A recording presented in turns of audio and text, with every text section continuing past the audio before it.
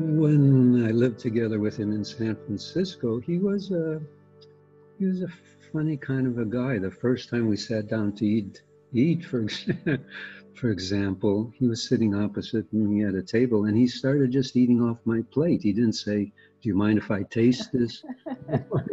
but it was like I don't know. He was just this kind of sometimes voracious kind of animal, really, in a way and yet at the same time there was times where he was uh, he was a real gentleman. He, he uh, his house was uh, you ask how he lived uh, his home was very um, jeff haller described it i think the best of anyone I, have met. It was a, a library with a bed in it.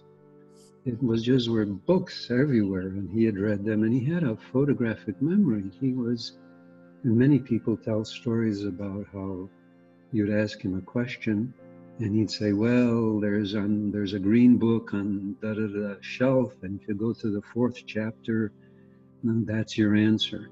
I mean, I would ask him questions like that, and he would do that. And then I'd say, when, hmm, how long ago did you read this book? And he'd tell me, oh, maybe five years ago or something like that. And other people would tell you the same thing. So it was. It was a bed in a. It was very humble, very simple in a, in a certain kind of way, full of books.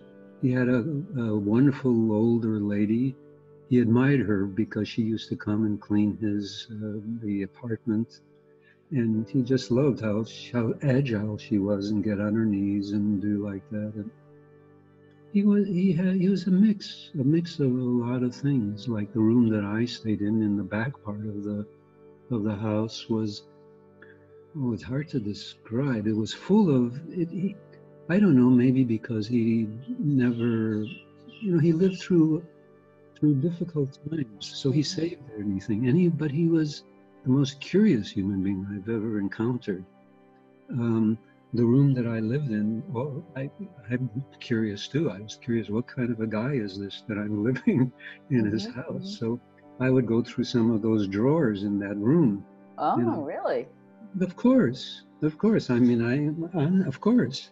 Well, Moshe, look, it was nothing strange to to go to some place, some people's house with Moshe, and he would disappear for ten minutes, and then where is he?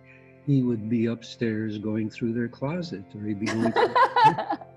no, seriously, to see how they live. He was curious. He was a mm-hmm. curious guy.